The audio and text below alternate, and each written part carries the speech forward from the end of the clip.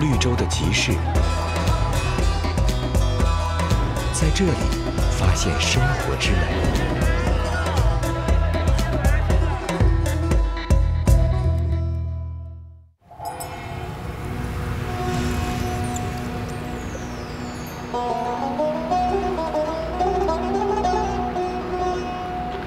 这就是玉龙喀什河啊，地球上面最贵的一条河流。和田玉的籽料就产自于玉龙喀什河里面，来自于全国各地人都在里面淘宝。世界上最贵的河流，催生出无数财富传奇的玉石巴扎。也吸引着无数敏锐的淘金者。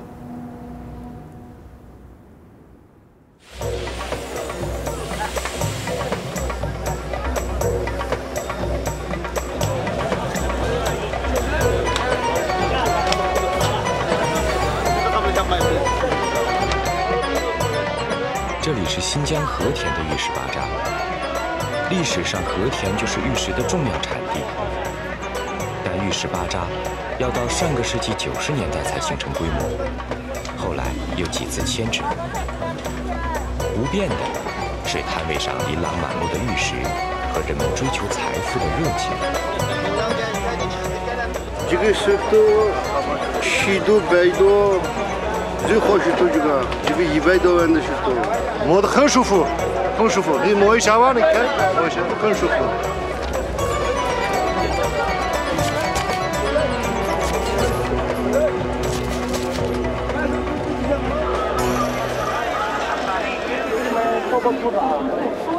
玉石巴扎里，李和明是最早做网络玉石生意的主播。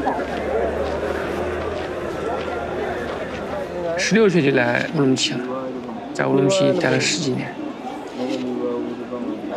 直播刚刚萌芽的时候，我们就来和田做了。直播风格我们赶上了。我们早上起来就是先逛巴扎买料，看完没有新料子，我们就回来直播。多少斤不？你那个？这样子。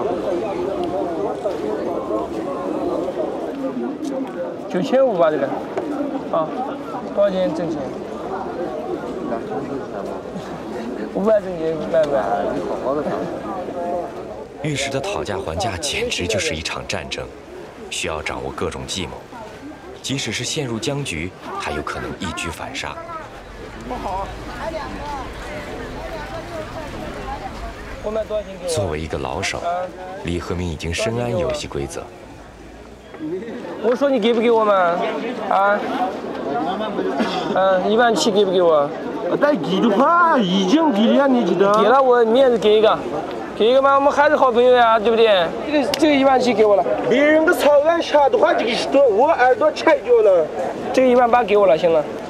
面子面子面子。一万八一万八，真的不要送一送一东西给我，嗯，送一东西给我，两千块钱嘛，我给了，送一东西给我，啊，拉黑，拉黑拉黑，两千嘛，晓得呀你啊，哎呀，认真查看，仔细打量，锱铢必较，玉石巴扎财富传奇的舞台。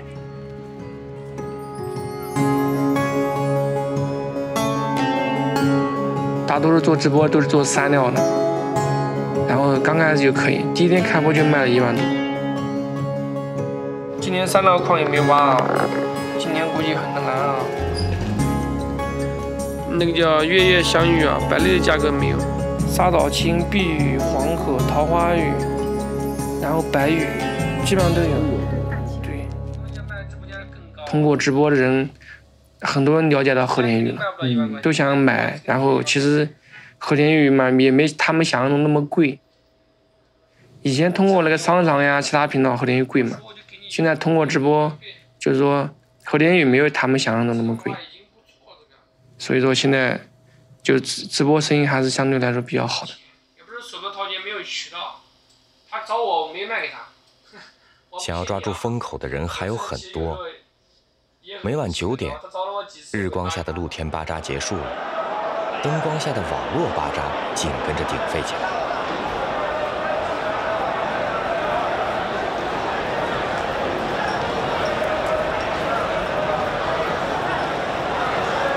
在和田的直播大厅里，只需要一部手机，一万块钱的月租，一平米的直播柜台就开张了。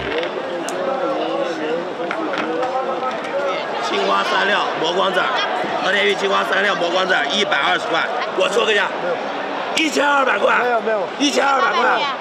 相比于白天动辄上万的巴扎，网络巴扎上就有更多捡漏的可能。直播间里的人更多是来感受讨价还价的乐趣。正儿八就是白菜价、萝卜价、和田子老价。来，八十米要了扣八米要得过了，三二一要三米要过。来，一百米要了扣一百了，三二一零没要过，没要过，没要过，一百五、一百八不给过，两百不给过，这多少钱来着？三千八，三千八，这要五十。老乡，我可想你了，爱你，么么哒。来考虑一下，考虑一下，两千万。缘分，缘分了，缘分了，缘分了。什么叫缘分？你又黑我了，我那个天哪！你等一下，我爱你就是永远的爱你，赶快，赶快。加两百，加两百，不行，加两百，不行！四千五，四千五，最后一步就啊，四千八，能卖都卖，不能卖好心。五千，五千，你就差两百，我差两百，五千，你差两百，我差两百，哎这叫三块嘛。哎，这才给面子嘞。网络拓宽了巴扎的边界，甚至在疫情肆虐的时候，这里通过网络直播的交易依然火爆。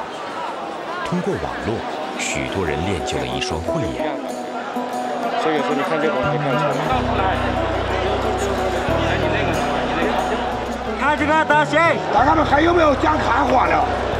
三、二、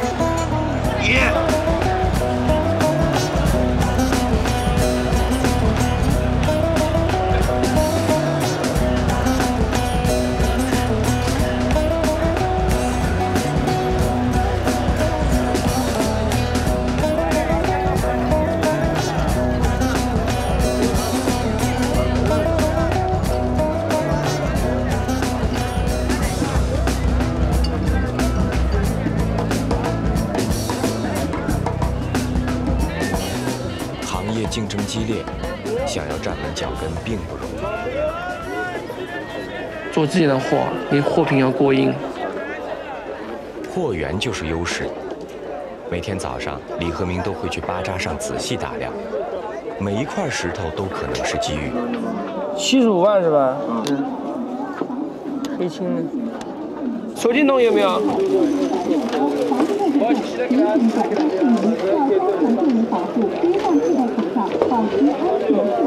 五百五百五百呀，少点嘛，挣就行了，好吧？五百整斤，好，三千五啊，这个石钵鱼，我们马上去看一下，待会手电弄看一下啊。所谓石包玉，就是在石头的外表里面可能藏着一块纯净的玉石，那样的话可能就赚一倍都不止。也可能里面就是一块顽石，花掉的钱打了水漂。你看这料怎么样？看，去看，里面有肉，里面有白肉吗？有可能里面有白肉这个料。白肉则是指石头里藏着的白玉，而青肉就是指青玉。是以小博大，还是希望落空？答案马上揭晓。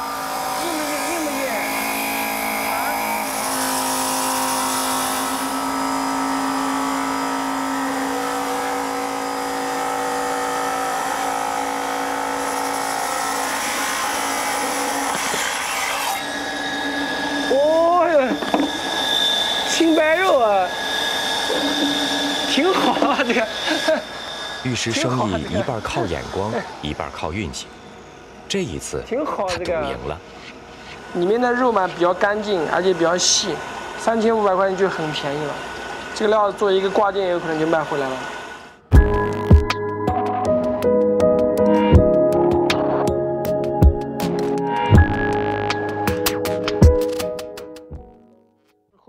昨天我不是切了一块石包鱼吗？切了给你们大家看一下，让我给卖掉了，我卖了一万块钱，我开很开心啊。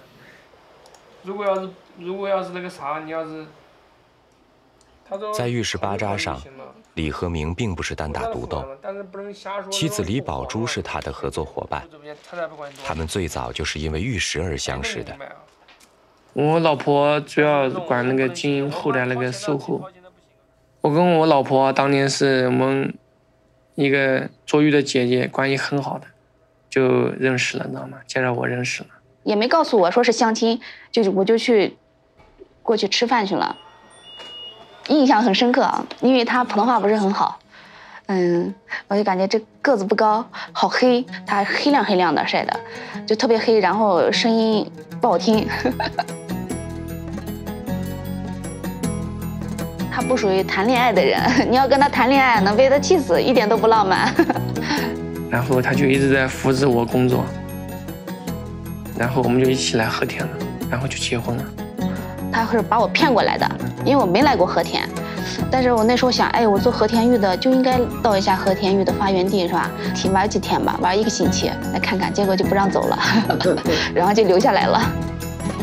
都是你，别人不要你才能有机会买啊！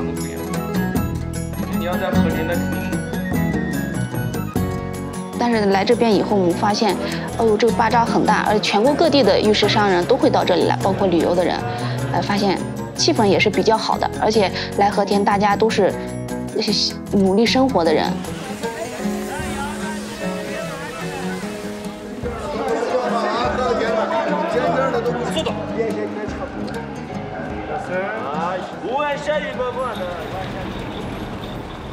那个叫月月相遇啊，百丽的价格没有，那种来和田已经从一八年。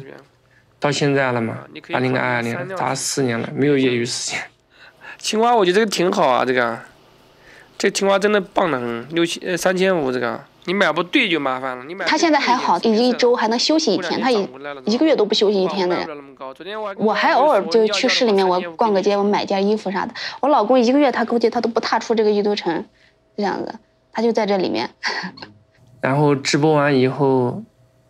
然后大概从七点半开始，我吃完饭，吃完饭我就开始做加工了，就盯一盯加工厂。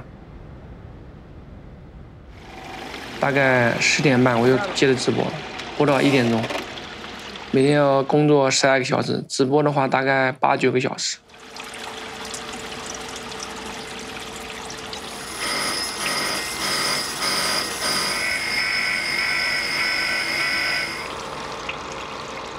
因为我们团队也说多也不多，也十来个人了，加工厂也有五六个人，也带动身边的一帮朋友们干一件自己都想干的事情，带帮身边的朋友都能够挣点钱嘛。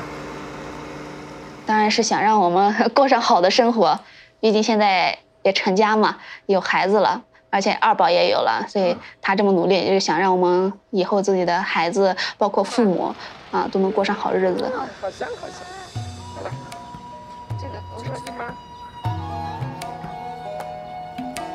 在这个地方，我们见了形形色色的人，经历了我们人生中一个比较大的一个转折，也是，而且也完成了人生了两件大事：结婚生子。